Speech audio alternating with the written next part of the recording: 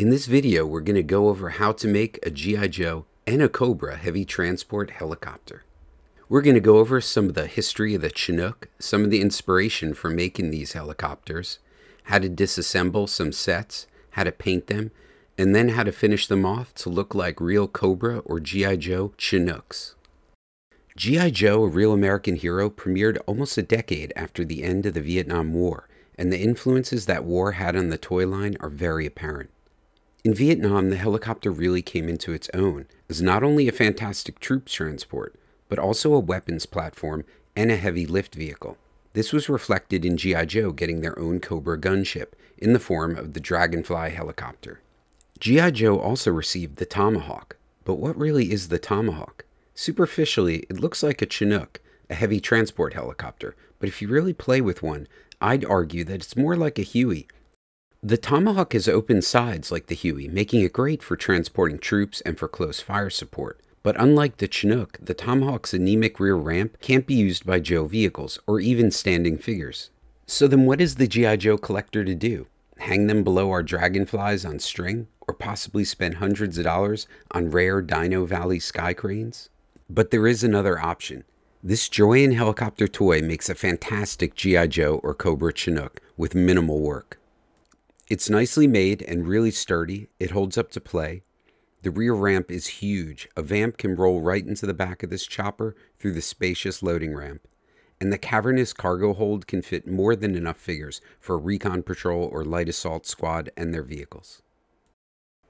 To create our G.I. Joe and Cobra Chinooks, we are mostly just going to paint them. So the first thing we want to do is take the toy apart. Fortunately, this is really easy. They're just screwed together I would just recommend bagging your screws so that when you go to reassemble the toy, you know which screws go where, and you can see I've done that here.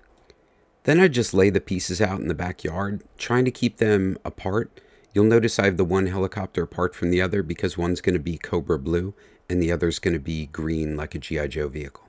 Folks always want to know what paint is used, so I'm using the Krylon Fusion. I find it's like really strong and robust and holds up and bonds well to the plastic and it won't chip even if you play with it. Also make sure it's a warm day. Uh, the paint's not going to bond well if it's too cold out. And also prep your surface if you've got stickers or any kind of like decals or paint apps on the surface. Lightly sanding those will help the paint um, you know, adhere to the surface.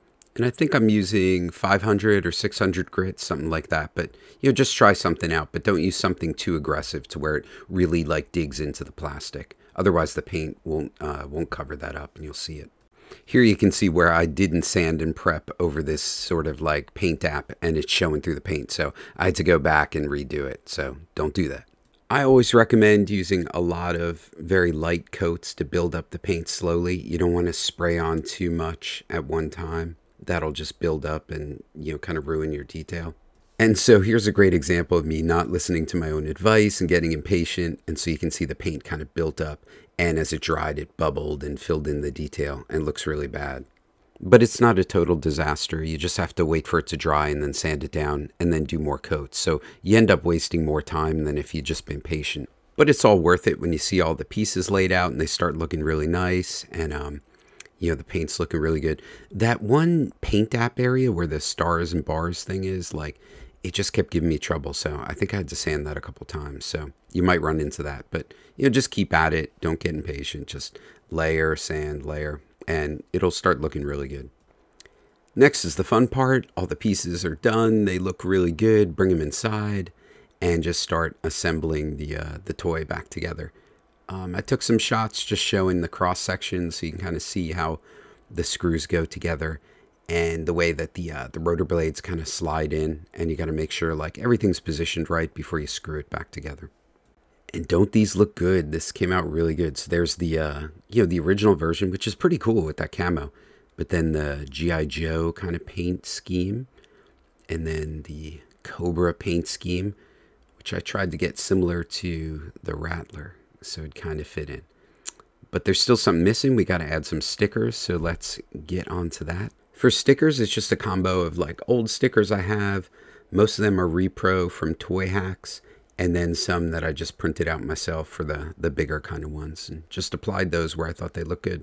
And so here they are. I'm so excited to have a helicopter that my vamp can drive out of. This is just really really great, like something I've always wanted. You know, I had a Tomahawk when I was a kid, and I was always bummed out that I couldn't drive my Vamp out of it, or you know, even the Ram cycle couldn't ride up in there. And I always thought, like, man, why why does this not work this way? And this really works well with the way I like to play and think about my Joes is like little teams kind of going off on missions and this vehicle is just a great size to like pack up all their gear and all their guys and you can see here too it works great for cobra i mean it really fits in i think um you know, gives Cobra that mobility they need to like do their kind of, you know, deep strikes into G.I. Joe territory or just, you know, hit any kind of facility they want and then get out of the way. And do not underestimate the value of folding rotor blades. This makes storing them so much easier because they're pretty big. And by request, I kept my youngest son's helicopter stock so now we can tell ours apart and not get them mixed up. Overall, I think this is a fun little mod you can do, you know, over a weekend doesn't take a lot of work or like crazy skills or anything like that. And it really adds to your G.I. Joe or Cobra Air Force. So thanks for tuning in, watching the video, and yo Joe.